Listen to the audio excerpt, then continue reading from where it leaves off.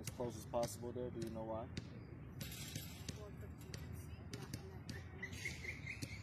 What's the second thing that you learned?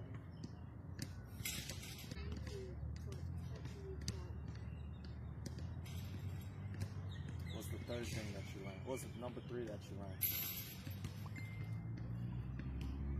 It's important to use our other hand for protection because if we have two hands, right?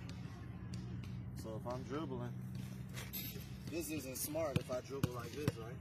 If I have a hand to protect the basketball, I want to use my hand and my body, right? What did you learn about your shooting today?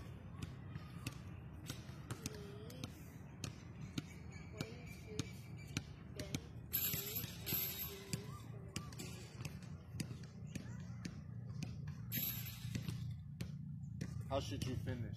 How should your how should your hands be after you shoot the basketball? Just like that.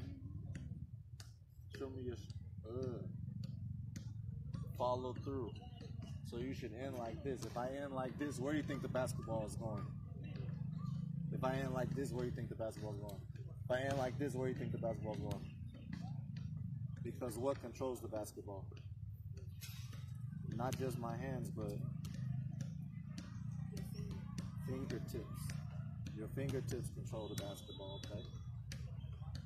We're gonna warm up or not